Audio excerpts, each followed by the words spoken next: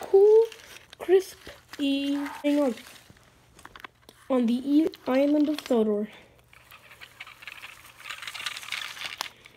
Many things had changed. The Skarloey Railway had received a new engine. Well, an old friend engine, anyway. And it was Proteus. Lady and Liz were on the standard gauge railway. But there was one more engine that was on the railway now, and he wouldn't be leaving at all. And that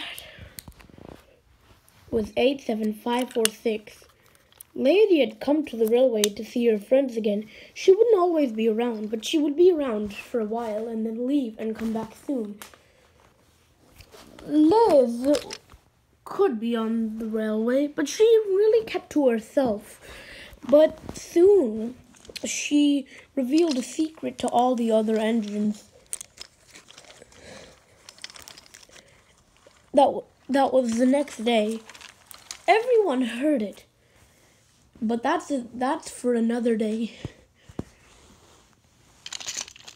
Anyway, meanwhile, many trains were ha- happening and visitors were arriving on Sodor. Alfred had left on January the 1st, 2018. And many things had not been happening too badly. But this story is about a special train that would be taken um for winter. There was a milk train and it was known as Chidmouth's Milks. It was one of the the most favorited.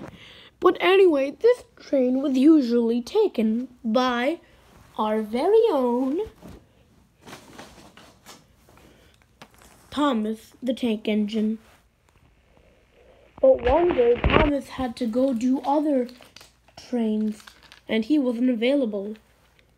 And, well, this was unfortunate. James had to take it. He was not happy at all.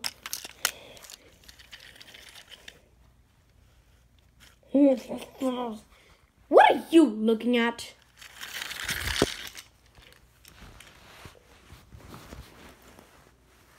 Anyway, it, it started off with James having an extra box car at the back which was loaded with jugs. The others were just, you know, milk and were very stable. But James biffed and bashed the cars a lot. And then inside the box car, it shook and shaked. This train didn't need a brake van, and the box car was used kind of as a van. Anyway,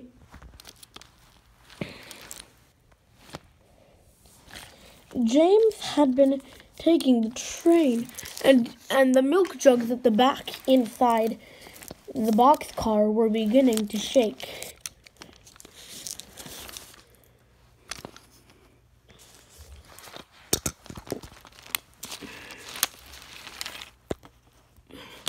Hi, Skiff. Good evening, James. Oof! James, we're nice. You don't have to bump us. Yes, I do.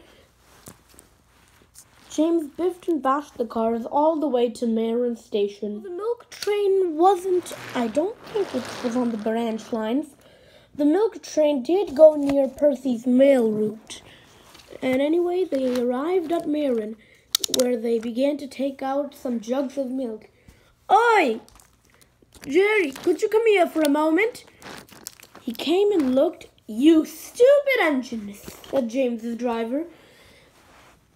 The jugs at the back of the box car, half of them have tipped over. So they've been unloaded, but no, nothing wrong has happened so far. So we've left a few jugs in there, but that are half loaded. The cracked ones are have been taken out. But milk is all over like the floor of the boxcar. Oh, whatever. Oh, sorry, driver. With James continuing on, the guard, the well, I guess the station master blew his whistle. The truck's floor, the, floor of the truck was still had milk and was leaving a trail all the way down the line. It soon stopped, but it had already gone past Percy's mail run.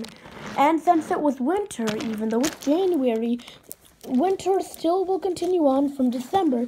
It'll be very cold from December 22nd to January and February until March. Anyway, the milk had frozen and now it was problematic.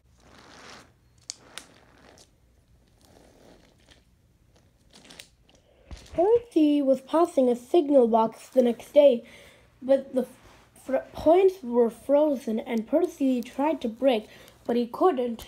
It was very slippery. Whoa, whoa, whoa, said Percy. He couldn't stop. Save me! Somebody help! Percy stopped as he smashed into a to a siding. Not too big. As he smashed into a pair of buffers. This was not well accepted as mail spilled out and got all over the snow and immediately became wet. This was very bad, and the people complained in the villages about this as it was hard to read the ink. And the next day, Sir Topham Hatt called a meeting. Percy and James were called to have a conversation, and with that, Sir Topham Hatt came in. Percy, explain. The tracks were slippery, sir. When they examined examined what was on the rails and tried melting it, it was very sticky. They said it was like. Then Percy stared at James. Milk. Well, James, do you have anything to say? I'm sorry for bashing the cars and causing the milk jugs to spill, which caused the mail to get damaged, and I apologize for making the milk leak and making many homes get without their full order of milk. I I'm sorry, sir. Good. Now then, I don't know what I should do. Maybe you will be put on goods duties for a week. But, sir, no buts. You already caused problems, and no buts except yours pulling a goods train. Got that? Yes, sir. Good. I have to go now. Goodbye. And Sir Topham Hatt walked away. Percy stared at James. What? I just can't believe you. Sometimes, James, you never give a good chance and you always cause problems. Percy puffed away, leaving James with a lot to think about. Mm-hmm. Oh, hello, Liz. How are you, Edward? I need to tell you something. Oh, sure. Is anyone else around? No, I'm alone for now. Good. It's very private. You see, Percy and you didn't get into a fight, did you? No, it's just Percy and and come on, come on, you can say it. I promise I won't tell anyone. Have you ever? Are there any brothers on this railway? Well, there's Mighty Mac, Bill, Ben, Donald, Douglas, Bear, and Boco, or kind of brothers. They they always stick with each other. Henry and Gordon, me and James are brothers, and well, many of the trucks are brothers. Now, are there any brothers and that are sisters on this railway? I'm not sure actually. Hmm. No, I don't think so. Well, there's, I know one pair that is. Who? Percy and I are brother and sister.